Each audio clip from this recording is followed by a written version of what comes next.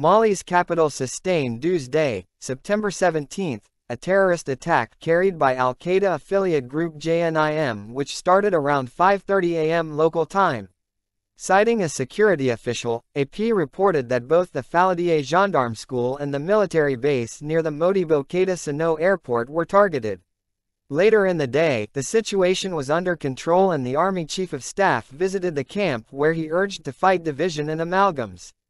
I'm telling the Malian people that this attack was done on purpose.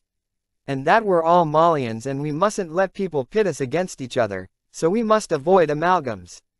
General Omar Diarra also called on the residents to provide information to the authorities.